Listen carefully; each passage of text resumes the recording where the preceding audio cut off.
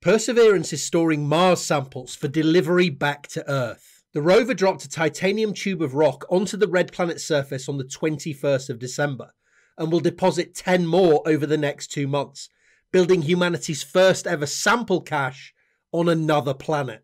It's hoped that Perseverance will directly deliver Martian samples to a future robotic lander. However, the current sample drops serve as an insurance policy.